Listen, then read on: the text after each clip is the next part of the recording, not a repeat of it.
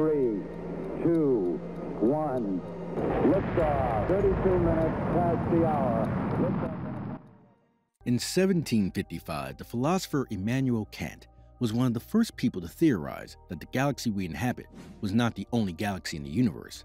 While we can now confirm Kant's hypothesis about the nature of galaxies to be true, we still are in no position to determine just how many of these galaxies there are in the universe. The current estimate is that there are over 100 billion. This estimate is problematic because it assumes that mass is distributed evenly across the universe.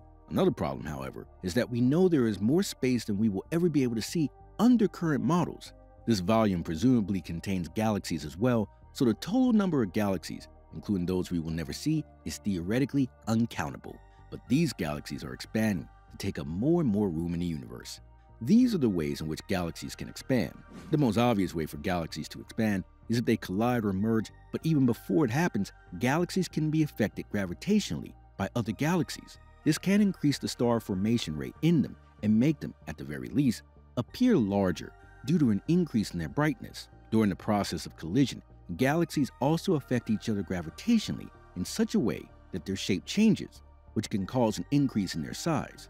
Besides the collision of more or less equal sized galaxies, bigger ones can also absorb smaller ones that can be, for example, their satellites. Otherwise, the galaxies can expand on their own in some cases. Sometimes an outside observer can notice an increase in their brightness, or even this can be nothing more than an illusion if it's caused by gravitational lensing. All these changes happen on timescales too slow for humans to notice. Our lifespans are too minuscule in comparison to the timescales on which such processes in the universe operate. But even then, it hasn't stopped humans from looking towards the furthest edges of the universe. The illusion of perception. Kant was very conservative on this matter. He believed that time and space was illusions and that the true nature of the universe is something else. He's sort of right. The question arises how far back can you look into a universe that is constantly expanding? How can you be sure what you're seeing? The further we try to explore the universe, the more confusing it becomes. Imagine looking at the horizon. When you take it in as a whole, you'll be able to see that there is a clear demarcation between the Earth and the sky. But the closer you look, the more blurry the lines become. It becomes almost impossible to tell where one ends and the other begins. This is the problem with distant galaxies. Why is it that super telescopes, such as Hubble, can give us amazing images of galaxies that are billions of light years away, but that same telescope can't zoom in on a particular star in our own galaxy and get a close up view of its planets? It's a conundrum that we have to deal with. But there is another one we must also contend with, and that is the cosmological speed limit, the finitude of the speed of light, universal expansion. If the universe started about 13.8 billion years ago, according to the Big Bang Theory, how can the universe be 46 billion light years in radius if nothing can travel faster than light? Well, this question is a bit more confusing, but let's try to simplify it just a bit. Picture yourself on a road, a very long road. You cannot see the end of it, even on a clear day. Exactly one meter from you along the road stands another person, in both directions. This is the case all along the road, a new person every meter. Here comes the special part about the road. Imagine that the road expands. You can see the people next to you move away from you, but they aren't walking or moving at all. They are standing still. It is the road itself that is expanding. While light might have been traveling for a period of 13.8 billion years, which is the age of the universe, and will of course have traveled a distance of exactly 13.8 billion years due to the definition of a light year, the object that emitted the light has been moving further away from us during that time.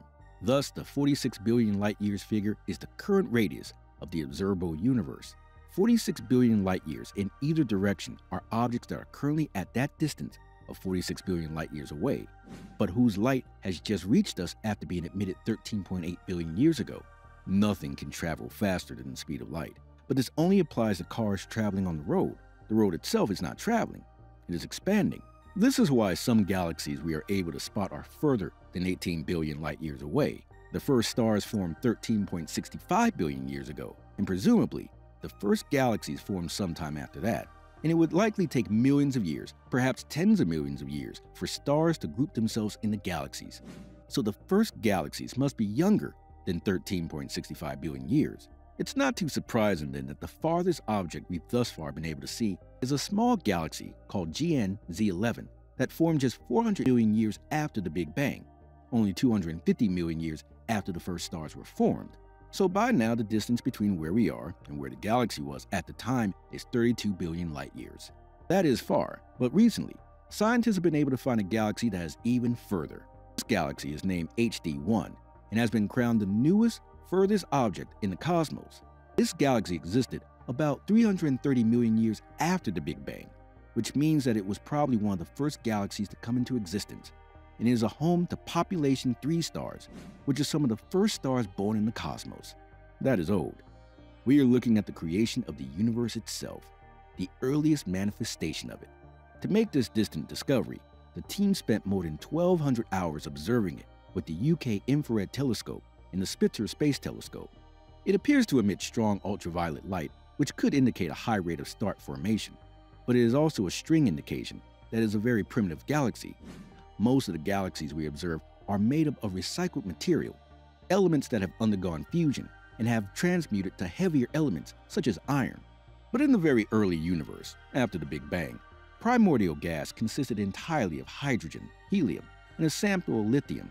These elements are more luminous, and thus it might be a reason for the exaggerated strength of the ultraviolet radiation. Fabio Pacucci, an astronomer at the Center of Astrophysics, made this pretty clear. The very first population of stars that formed in the universe were more massive, more luminous, and hotter than modern stars. If we assume the stars produce an HD1 as these first, or population 3 stars, then its properties could be explained more easily. In fact, population 3 stars are capable of producing more UV light than normal stars, which could clarify the extreme ultraviolet luminosity of HD1. We are seeing HD1 when the universe was only 330 million years old. It was a very young galaxy, and most probably it does not exist anymore. It will have, no doubt, reformed into some later structure. At those very early ages, there could not be any life. There was no or very few heavy elements, and the universe was too energetic and filled up with deadly radiation. The discovery of this galaxy can potentially help us learn about the development of the universe as a whole, and thus better understand the universe, its past, its future, and our place in it.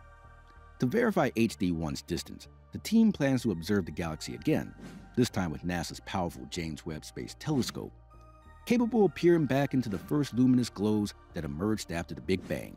JWST will be able to settle which theory explains HD1's ultraviolet shine, and, perhaps, find even more distant galaxies in the earliest moments of the cosmos. So, there you are, guys. What do you think about this phantom from the past, this relic from the time of the earliest creation of the universe? Let us know in the comments below. If you enjoyed the video, be sure to hit the like button and subscribe for more content just like this. And as always, thanks for watching.